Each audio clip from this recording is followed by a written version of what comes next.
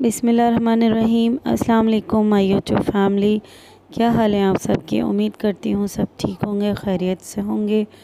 और मैं हूँ महक सुहेल और चलते हैं हमारी ये हेयर स्ट्रिकिंग की तरफ़ कि आज हमने जो कैप स्ट्रिक की है वो किस तो स्टार्ट करते हैं। अल्लाह ताला का नाम लेके कैप स्ट्रिकिंग हमने किस तरह की है। हमारे क्लाइंट के हेयर्स देख सकते हैं। काफ़ी ग्रे हेयर्स हैं और सबसे पहले हम ग्रे कवरेज करेंगे। ग्रे कवरेज करने के लिए मैंने जो ट्यूब अप्लाई की है वो है क्यू ने सेवन यू सी और ट्वेंटी वॉल्यूम के साथ मैंने उसमें जो है ट्वेंटी वॉल्यूम ऐड किया है और सबसे पहले रूट टचअप करेंगे।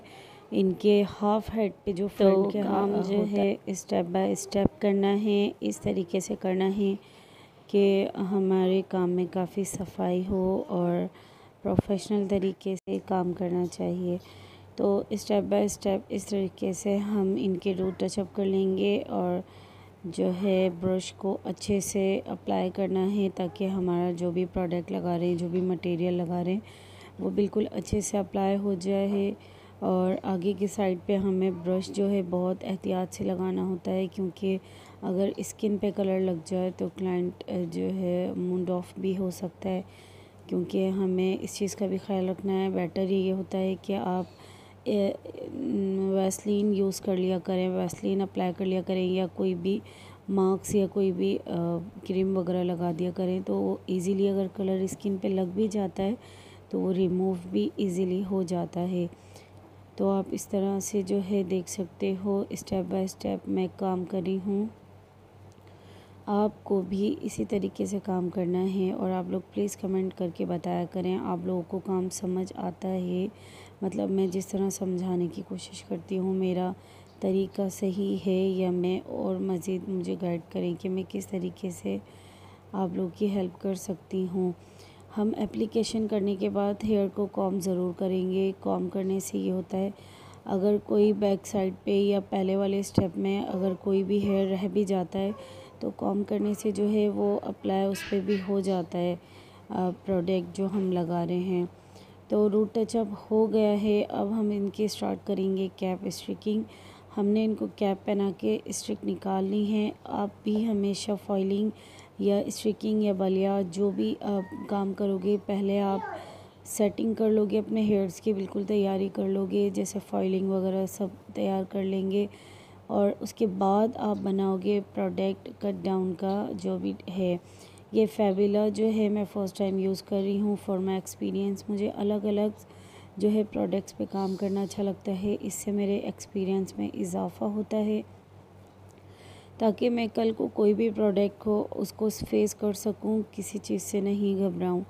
तो ये एक बड़ा ब्रांड तो नहीं है, लेकिन नो डाउट कि इसका रिज़ल्ट हमें अच्छा मिला और बहुत टाइम इसका फास्ट था। मुझे ज़्यादा वेट करना नहीं पड़ा और हमारे क्लाइंट को जो है ज़्यादा हैवी मतलब ज़्यादा हाई लेवल पे कट डाउन नहीं चाहिए था।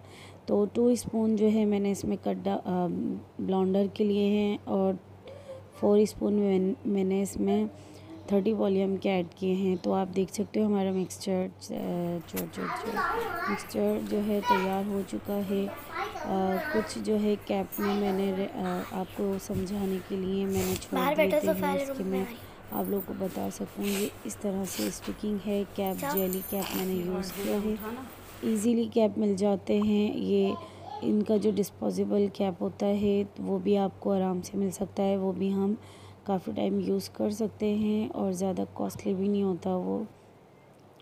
उसके साथ आपको ये आराम से इसको इसको इसके साथ जो है ना वो बनता है आ, सूट पे कढ़ाई भी होती है। इसको जो कहते हैं वो मुझे नाम याद नहीं आ रहा ज़रूर आप लोग तो जानते ही होंगे।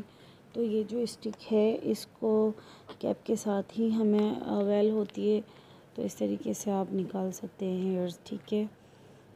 और एप्लीकेशन करी हूँ कट डाउन की, बिल्कुल स्टेप बाय स्टेप थोड़े थोड़े हेयर्स लेके ताकि एप्लीकेशन अच्छे से हो जाए। कोई पैचेस ना रहें, कोई ऑरेंज टोन ना रह जाए हमारे हेयर्स में तो वो चीज़ बुरी लगती है। तो इस तरीके से जो है आप लोग एप्लीकेशन करेंगे और हाथ से भी अच्छी तरह मर्ज करेंगे। जो इनकी लेंथ वाले हेयर्स पे मैं बिल्कुल लास्ट में लगाऊँगी क्योंकि वो ऑलरेडी कट डाउन हुए हुए हैं।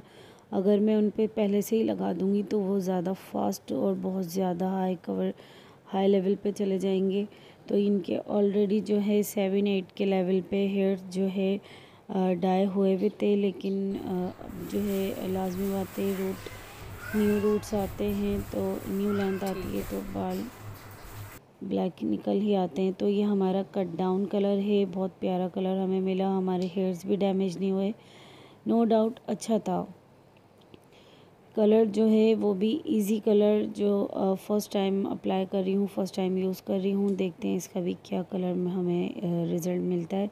तो 8.0 हमने इजी कलर लिया है और इजी कलर का ही डेवलपर जो है यूज़ कर रही हूँ ट्वेंटी वॉल्यूम हमने हाफ़ ट्यूब ली थी और हाफ़ जितनी मैंने ट्यूब ली थी, उतना ही मैं डेवेलपर ऐड कर रही हूँ। तो आप इस चीज़ से अंदाज़ा लगा सकते हैं। एप्लीकेशन हो गई थी।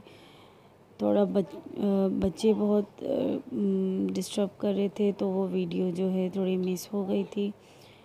मेरे घर में सलोन था तो ये मसले मसाइल होते ही रहते हैं। आई होप आप लोग समझ सकते हैं।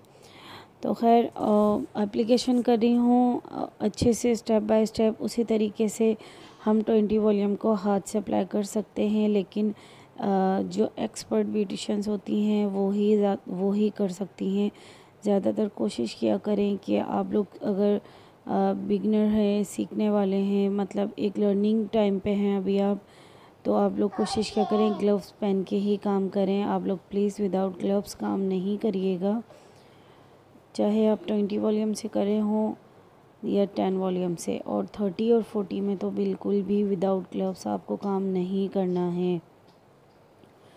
तो हमारी एप्लीकेशन यहाँ कंप्लीट होने वाली है और हम अच्छे से जो है एप्लीकेशन करके हाथ से मर्ज करेंगे, उसके बाद कॉम कर देंगे ताकि हमारी जो ट्यूब है वो अच्छे से जो है पूरे हेयर्स में ब्लेंड हो जाए।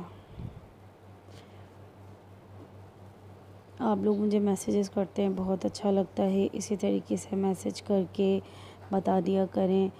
तो हमने इस कलर को रखा था thirty five minute to forty minute और उसके बाद जो है हमने इनको वॉश करवाया था और ट्यूब वॉश करने के बाद, के बाद ट्यूब जो हमारा लास्ट वॉश होता है उसके बाद हमें कंडीशनर लाजमी करना है तो ये है फाइनल लुक आई होप आप लोगों को रिज़ल्ट नज़र आ ही रहा होगा। बहुत ही खूबसूरत इनके हेयर्स लग रहे थे, जो हमारे रूट्स पे ब्लैक टाइप का शर्ट लग रहा है। ये एक कॉफ़ी कलर में आया था तो हमारा कैमरा कैचअप नहीं कर पा रहा था। कैचअप हाँ कैचअप ही के थे ना। तो खैर, जो भी है आई होप कि आप लोग रिज़ल्ट देख पा रहे हो। मेरी क्लाइंट तो बहुत खुश हुई थी, एक हमारी फैमिली मेंबर हैं और आई होप आई होप आप लोगों को वीडियो अच्छी लगी होगी तो लाइक शेयर और कमेंट ज़रूर कीजिएगा। और मुझे दुआओं में याद रखिएगा, मेरी फैमिली को, मेरे अबू को और अपना ढेर सारा ख्याल रखिएगा। अल्लाह हाफिज़।